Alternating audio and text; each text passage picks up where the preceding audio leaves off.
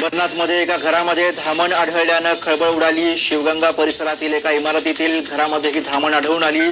Sofa सेटमध्ये तब्बल पाच फुटांच्या धामणमुळे घबराट उडाली. सर्पमित्रांना याची माहिती मिळताच त्यांनी धामणला ताब्यात घेत जंगलामध्ये सोडून दिलं.